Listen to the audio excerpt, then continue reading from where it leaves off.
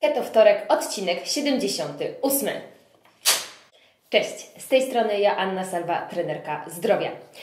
Moi drodzy, na kanale jest nas coraz więcej. Bardzo wiele osób jest już wtajemniczonych w temacie ketozy, ale ja tak sobie odświeżyłam historię ketowtorków i już bardzo dawno nie było niczego e, dotyczącego samego procesu adaptacji i tych początków. No a na pewno, e, wiem zresztą o tym, bo do mnie piszecie, jest dużo tutaj też osób nowych, e, takich, które chcą rozpocząć swoją przygodę z keto. Dlatego dzisiaj powiemy sobie o sześciu, według mnie, największych błędach ketoadaptacji. Zapraszam.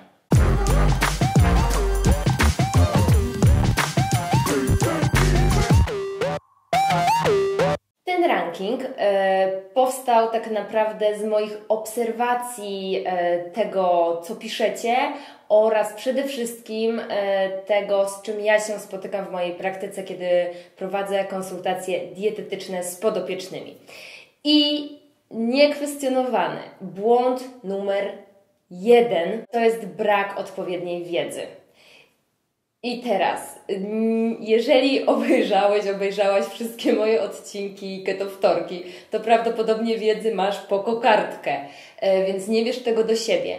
Ale wciąż widzę, że trafiają do mnie osoby, które e, już próbowały przejść ketoadaptację i chciały to zrobić już jak najszybciej, bo dowiedziały się o keto i na przykład miały jakiś ważny dzień, albo po prostu poczuły, że to jest ten moment i zamiast się wdrożyć w temat, to po prostu z buta rozpoczęły, nie wiedząc tak naprawdę, co robią. I to jest moim zdaniem podstawowy błąd, bo po pierwsze, możemy się zniechęcić do ketozy, po drugie, prawdopodobnie nabawimy się grypy węglowodanowej, która wcale nie jest konieczna i będziemy się po prostu na początku źle czuć. Po trzecie, możemy w tym w ogóle nie wytrwać, nie wejść w keto i tak dalej. A tak naprawdę możemy przede wszystkim zaszkodzić swojemu zdrowiu, jeżeli ten proces e, takiego naszego błądzenia będzie trwał długo.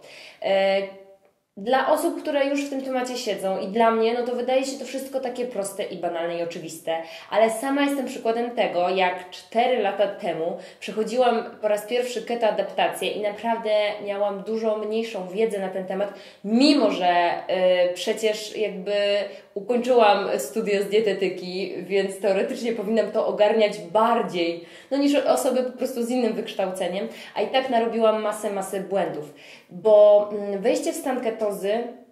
I w ogóle sama y, ketoza jest to temat bardzo obszerny, jest to coś, y, z czym, no, czego się nie uczymy w szkole i po prostu uważam, że naprawdę podstawowy błąd. I to, na co powinniście w związku z tym zwrócić uwagę, jeżeli chcecie zacząć przygodę z keto, to obejrzyjcie moje ketowtorki, e, link do tych najważniejszych, które są pod kątem ketoadaptacji, e, wrzucę Wam w opisie kupcie może jakąś dobrą książkę, po prostu zaznajomijcie się z tematem albo poproście o wsparcie i pomoc specjalistę i to też będzie jak najbardziej ok. Y, ja Wam obiecuję, że naprawdę już niedługo dam Wam znać o naszym wspólnym, y, naszej wspólnej keto adaptacji, o kursie, projekcie, który wystartuje już niedługo, y, no ale to jeszcze potrzebuje parę tygodni. Wiem, że już mówię o tym od dawna, natomiast no trochę w moim życiu prywatnym się tak dużo zmieniało, że po prostu nie miałam na to czasu, ale teraz wreszcie za chwilę ruszamy. Drugi bardzo częsty błąd to jest za mało tłuszczu, który spożywamy. E, oczywiście to nie bardzo dużo tłuszczu indukuje stan ketozy, a bardzo mało węgli i o tym należy pamiętać. Natomiast jeżeli przechodzisz z takiego standardowego mm, stylu żywienia, gdzie tego tłuszczu w diecie czasem jest 30%, czasem 20%, a czasem jesteśmy na dietach niskotłuszczowych, no bo zawsze nam mówiono, że tłuszcz jest zły i tego tłuszczu praktycznie zupełnie staramy się unikać. No to jeżeli przechodzimy do tego, weźmy na tapetę takie standardowe makro z ketoadaptacji, czyli 5% węglowodanów, 15% białka, ile nam zostaje? 80, aż się nie zmieściłam w kadrze, 80% tłuszczu. Moi drodzy, to jest naprawdę dużo, e, przynajmniej na początku. Tak nam się wydaje, że to jest dużo i ciężko jest rzeczywiście ten tłuszcz zmieścić w ciągu dnia. I tutaj na pewno z pomocą przyjdą Wam przepisy, keto przepisy, które pokazują, jak to w ogóle ogarnąć, te proporcje, ale również do czego ja zachęcam, suplementacja po prostu na początku tłuszczu, nawet z łyżki, czyli po prostu bierzemy sobie łyżkę oleju MCT i wypijamy do posiłku, czy olej lniany z ogórecznika, oliwa z oliwek itd., tak itd. Tak I w ten sposób po prostu zapewniamy sobie odpowiednią ilość tego tłuszczu. I w ten sposób płynnie przechodzimy do punktu trzeciego. Punktem trzecim jest kwestia węglowodanów. I teraz, zazwyczaj niestety wciąż tych węglowodanów jest za dużo, ponieważ jeżeli znowu standardowo ktoś je 200, 300, 500 gramów węglowodanów dziennie, a tu się nagle ma przerzucić na 20-30 gramów węglowodanów yy, netto oczywiście, czyli bez błonnika, no to jak to w ogóle ogarnąć? To czasami musi spaść dziesię dziesięciokrotnie, jak nie więcej. E, I to jest jedna rzecz, że po prostu musimy, dlatego właśnie wracamy do punktu pierwszego, musimy się do tego przygotować, żeby nie zacząć ketoadaptacji i rozłożyć ręce, rozpłakać się i nie wiedzieć co dalej. Bo to tak naprawdę nie jest trudne, tylko każdą nowość, każdą zmianę trzeba oswoić. E, więc za dużo węglowodanów jest rzeczywiście dużym problemem. Natomiast czasem ten strach przed węglowodanami, że ja w ogóle nigdzie nie mogę zjeść węglowodanów, to też może być problem przy komponowaniu posiłków. No bo e, warzywa chociażby mają węglowodany. I to nie znaczy, że mamy się teraz panicznie bać warzyw. Weźmy na przykład zielone warzywa, które są takie naprawdę bezpieczne, jeżeli nie jesteście jeszcze tacy obeznani z tematem, to po te zielone warzywa liściaste można spokojnie sięgnąć. I powiedzmy taki jeden miks sałat, taki gotowiec, nie wiem, z Biedry czy z Lidla, będzie miał jakiś 1 gram węglowodanów y, netto. No więc naprawdę nie jest to dużo. Jak weźmiemy awokado, całe awokado, no to brutto ono ma kilkanaście, nawet do 20, jak jest duże, gramów węglowodanów, ale większość z tego to jest błonnik, czyli po odjęciu netto tych węglowodanów nie, ma, nie jest wcale dużo. Niektórzy mówią, że mm, nie możesz na ketoadaptacji zjeść pomidora na przykład, albo ogórka, albo papryki, bo to te warzywa mają dużo węglowodanów. Hello, jeżeli sobie na keto bułkę y, z na przykład jakąś pastą y, rybną czy z jajkiem położysz plasterek pomidora, jeden, dwa czy trzy, to naprawdę nic się nie stanie. To też ilość ma znaczenie. Wiadomo, że lepiej wystrzegać się w ogóle tych produktów, które nie są z natury ketogeniczne, typu yy, warzyw skrobiowych, kasz, strączków itd., tak itd., tak więc tutaj nawet jak łyżkę kaszy gryczanej zjesz, no to możesz sobie trochę namieszać i na pewno Ci to nie pomoże, mm, bo to są same węglowodany, ale nie bójmy się warzyw. Punkt czwarty, moim zdaniem, e, który jest problematyczny często, to są Twoje oczekiwania. Bo z jednej strony wiele osób boi się ketozy, no bo na wielu forach można przeczytać o tej ketogrypie, ketoflu, w ogóle co się dzieje, źle się czujesz, masz spadek energii, w ogóle żeby wejść tą ketozę to jest prawie niemożliwe. Więc oczekujesz, że to się stanie i się negatywnie fiksujesz na to, że nie będzie dobrze. Uwierzcie mi, większość moich podopiecznych, którzy mają zbilansowaną, że tak powiem, keto adaptację, nawet nie odczuwa tego. Czasem rzeczywiście może być osłabienie e, organizmu, no bo zabraliśmy węglowodany, które były źródłem energii, daliśmy tłuszcz w dużej ilości i jeszcze nasz organizm nie przeszedł tego procesu, nie zaadaptował się, jeszcze się tego efektywnie nie nauczył wykorzystywać. Więc rzeczywiście czasem możemy mieć osłabioną y, trochę Możemy po prostu czuć takie osłabienie, ale to nie ma nic wspólnego z jakąś totalną masakrą i większość osób naprawdę dobrze tą adaptację przechodzi. A jeżeli się negatywnie nastawisz, to no, to, o czym myślimy, przyciągamy to, więc naprawdę tego nie polecam. Ale z drugiej strony to są osoby pesymistyczne, tak? A osoby bardzo pozytywnie nastawione i w ogóle hurra, robimy adaptację i schudnę 30 kg po prostu w miesiąc. No to też przesadzają w drugą stronę. Ketoza to nie jest jakaś dieta, cud. Ja w ogóle nie bardzo nie lubię tego połączenia dieta keto. Dla mnie keto jest czymś o wiele większym, ważniejszym niż dietą. To jest zmiana y, naszego stylu życia, zmiana często naszego myślenia, poprawa jakości naszego życia, ale nic się nie dzieje od pstryknięcia palcem.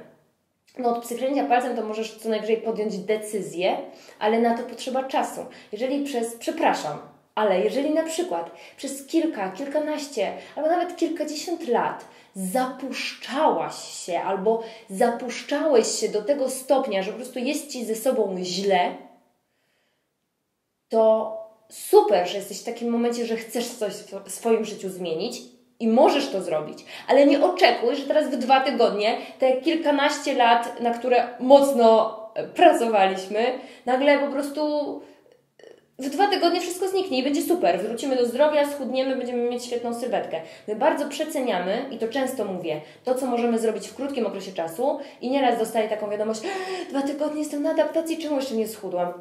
Czasem rzeczywiście chudnie się szybko, ale jeżeli to nie jest Twój przypadek, to poczekaj.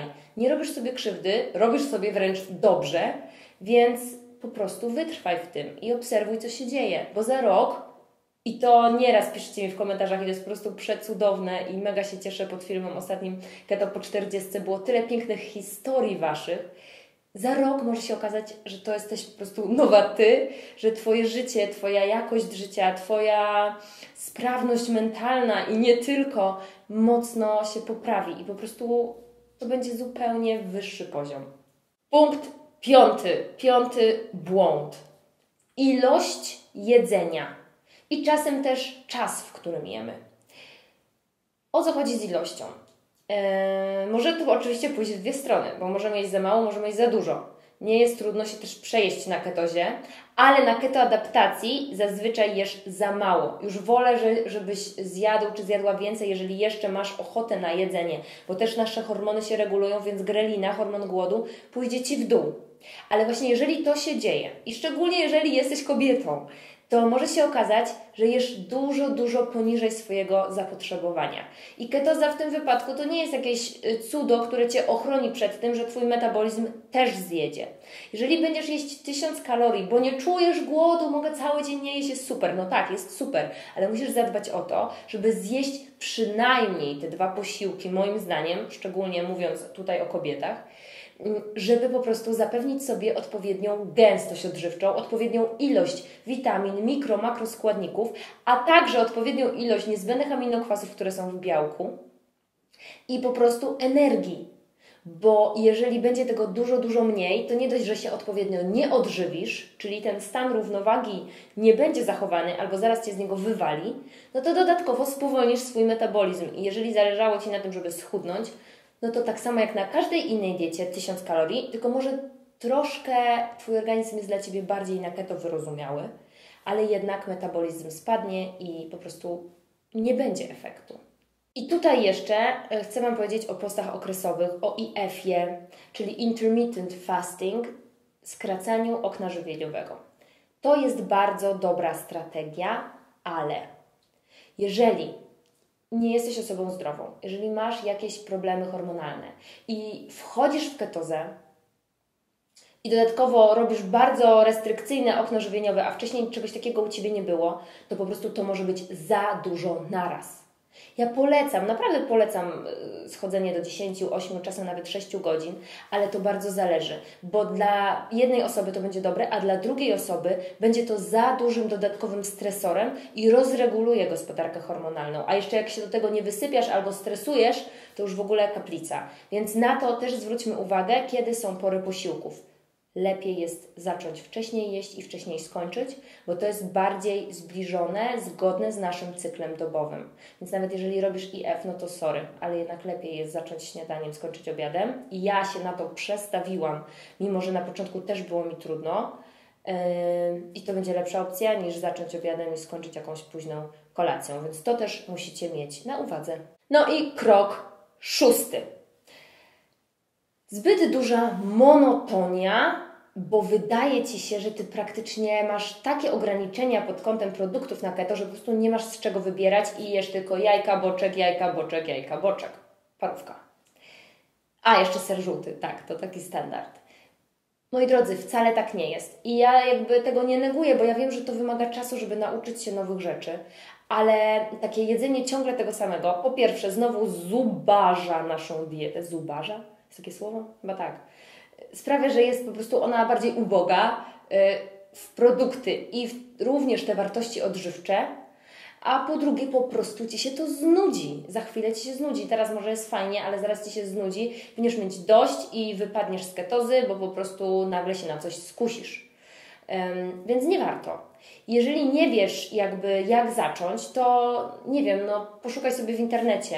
Y, pobierz mój, też będzie link y, na dole, mój bezpłatny e-book dotyczący keto zakupów. Tam jest cała lista zakupów, tam jest tego dużo, tam jest tego za dużo jak na pierwszy raz, jak na pierwsze dni i tygodnie keto adaptacji. Ale wybierz coś z tego, zainspiruj się. W internecie jest masa przepisów. Yy, Ola, z którą się bardzo dobrze znamy, Ola la LCHF, wydała książkę e, z przepisami. Możesz ją sobie e, kupić na Superfood, ale możesz też wejść na, na jej bloga e, olalalchf.pl, jeżeli dobrze pamiętam, i tam będziesz mieć masę przepisów. Mm, więc korzystaj z tego. Tylko z jednym małym ale nie rób tego wszystkiego naraz, bo naprawdę keto może być proste. Jeżeli na śniadanie załóżmy zjesz jajka albo tłustą rybę yy, i do tego warzywa, yy, jeżeli na yy, obiad zjesz y, mięso i do tego jakieś warzywa, czy rybę, jakby takie, słuchajcie, proste na początek rzeczy, żeby to nas nie przytłoczało. Y, Dobieramy sobie do tego oczywiście odpowiednią ilość tłuszczu. Najlepiej jest to na początku adaptacji ważyć i sprawdzać, bo to jest klucz, żeby wejść w keto. Potem już nie będziesz musieć tego robić. Ale jakby nie zawalmy się po prostu keto sernikami, keto bułkami, dziesięcioma rodzajami jakichś keto potraw, bo będziesz mieć tego za dużo i Ci się to będzie wydawało trudne dla większości osób, mimo że sama y, mam coś takiego, że po prostu wszystko albo nic i jestem taką osobą, która y, jak coś postanowi, to po prostu jedzie, ale jednak metoda Kaizen zazwyczaj w długim okresie czasu daje nam większe i lepsze rezultaty. Czyli ta zmiana niech idzie krokami. Najpierw się czegoś dowiedz, poczytaj na ten temat. Później rozplanuj to sobie. Ogranicz węglowodany, Zwiększ tłuszcze.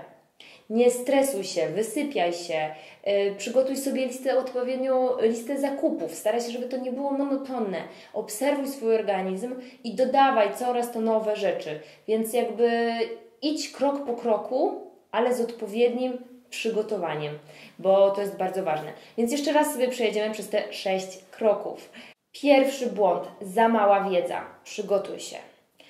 Drugi błąd, za mało tłuszczu. Na keto musi być przynajmniej 80% tłuszczu, na keto adaptacji oczywiście, więc jest to sporo. Punkt trzeci.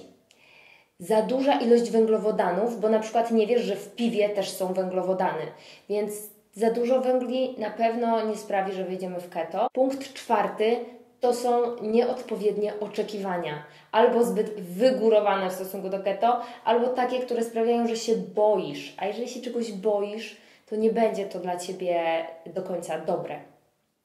Punkt piąty. Jest to ilość jedzenia. Czasem jemy za mało, jeżeli wchodzimy w ketoadaptację i w długim okresie czasu na pewno nam to nie pomoże, tak samo jak od trzeba e, zwrócić uwagę na odpowiednie rozłożenie pór posiłków.